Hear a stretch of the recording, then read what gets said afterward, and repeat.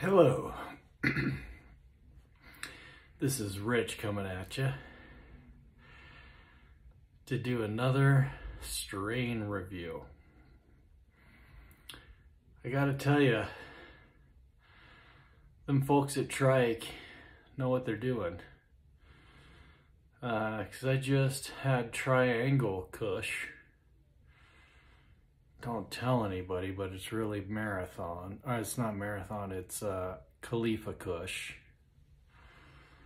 So load up on your Triangle Kush.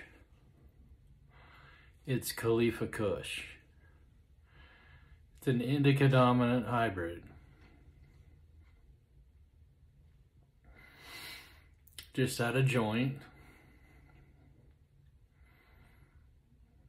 Made it out of a cone with about a one gram size bud.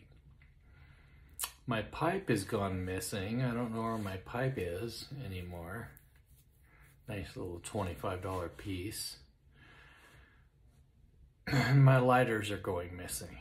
So there's another marijuana consumer in the house and I would imagine he may be using my pipe. That's okay. We'll find out later. Again, Dr. Rich, uh, Triangle Kush, A plus.